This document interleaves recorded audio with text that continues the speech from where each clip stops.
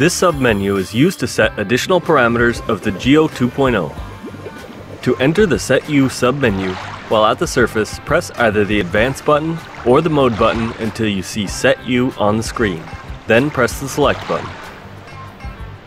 The Set U submenu has 8 submenus. Set Wet Activation, Set Units, Set Deep Stop, Set Safety Stop, Set Decompression Algorithm, Set Conservative Factor, Set Backlight, and Set Sampling Rate. Let's look at the first one, the Set Wet Activation submenu. Press Select to enter it. When wet activation is set off, the Geo will not automatically enter dive mode. When wet activation is set on, immersion in water will activate the Geo, which will then enter dive mode upon descent. Remember that it is good practice to turn on and check your dive computer when you are assembling your gear. This submenu is identified by the word WET, to change the wet activation setting, press the advance button to toggle it between on and off. Let's set it to off. Hold the select button to ignore the value and step back to the Set U submenu. Or, press the select button to save the value and move to the Set Unit submenu. You can use this submenu to decide which measurement system to use, either metric or imperial. This submenu is identified by either the word IMP or by the word MET flashing. To change the unit setting, press the Advance button to toggle it between Imperial and Metric. Let's set it to Imperial. Press the Select button to save the value and move to the Set Deep Stop submenu. You can use this submenu to have the Geo calculate the depth of deep stops for no decompression dives. No penalty is given if the deep stop is ignored, when deep stop is set on, the Geo will calculate a deep stop depth for no deco dives when you descend to 80 feet. The deep stop depth is equal to half the maximum depth. This submenu is identified by the word DS and by the stop arrow symbols. To change the deep stop setting, press the advance button to toggle it between on and off. Let's set it to on. If you set it to on, the DS icon will be shown above the stop arrows.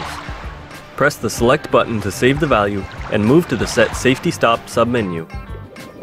When diving, it is good practice to perform a safety stop before ascending to the surface. The Geo provides you with two ways to monitor your safety stop. The classic way, in which you define the depth of the safety stop and its length.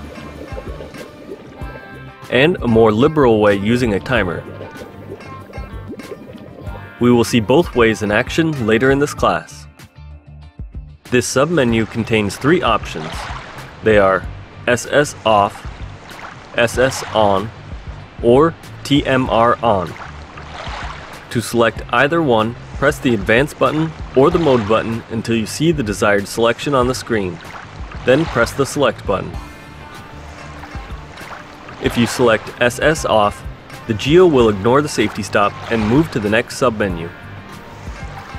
If you select TMR on, it will enable the safety stop timer mode and move to the next submenu.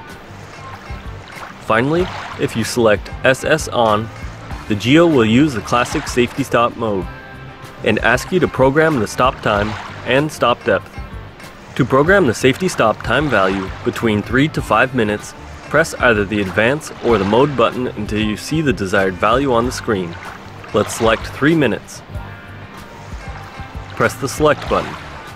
To program the safety stop depth value between 10 to 20 feet, press either the advance or mode button until you see the desired value on the screen.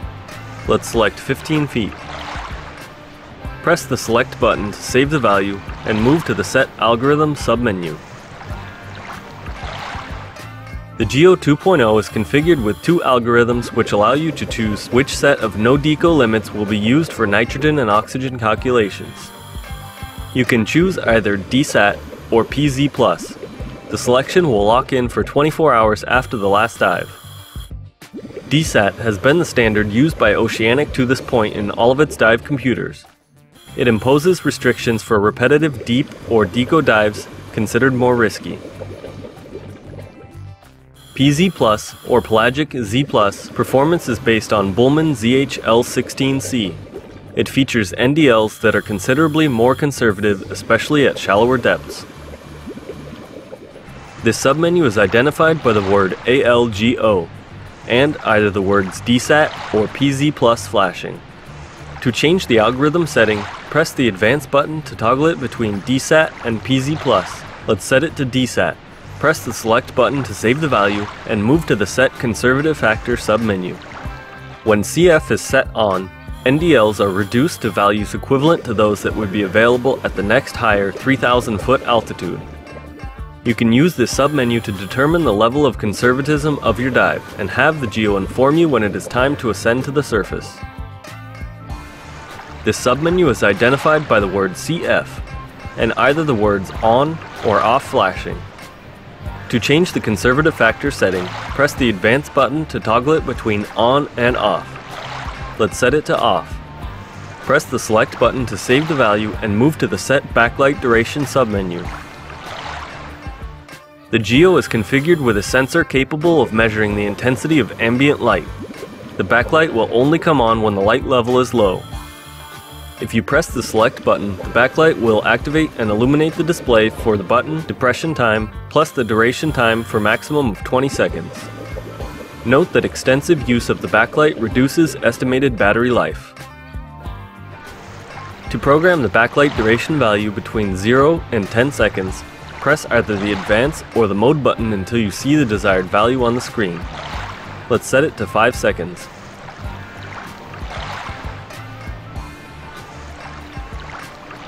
Press the select button to save the value and move to the Set Sampling Rate submenu. Sampling rate is the frequency at which data is sampled and stored for download to the Oceanic OceanLog PC interface program. This submenu is identified by the word SR and the value flashing. To program the sampling rate value between 2 to 60 seconds, press either the advance or mode button until you see the desired value on the screen. Let's set it to 15 seconds. Press the select button to save the value and return to the Set U submenu. Press next at the bottom of the screen.